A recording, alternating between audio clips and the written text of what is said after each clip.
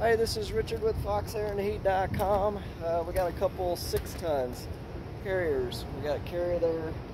We got new uh, gas pipe and gas flex line on there. We got the drip leg, the sediment trap there so that it keeps the water and dirt out of your gas valve.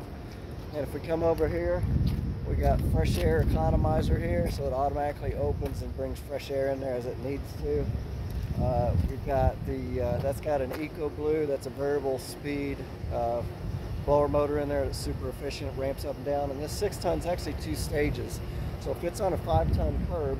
And then we've got hail guards on this thing. So a lot of these units, you'll see people will cut corners on commercial stuff. You gotta do extra, you gotta do hail guards. These electrical disconnects were old on a unit. We just had another unit that somebody did uh, burn up a compressor and we had to go put a new compressor and an electrical disconnect. So we always recommend doing that. Uh, and like I said, we do the gas line, new gas flex line. That way, if it's uh, corroded or broken, you don't have it leaking. And we put the drip legs and everything in it. So uh, this job, we didn't need to do a curb adapter. We actually upsized them about half ton. So uh, there's another one back there that we did for another customer. So uh, we do quite a bit of these units. We do a lot of carriers. We've got a really good price at them. We've got a lot of different crane setups that we can uh, get a hold of. We need to do them quick, so let us know if we can help you.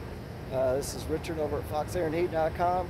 Uh, carrier's running a special until the end of the year. If you need a roof adapter or curb adapter, if you got a different brand, uh, they're doing it at uh, no charge. We'll get a credit for it, so you're not having to pay for that. So let us know.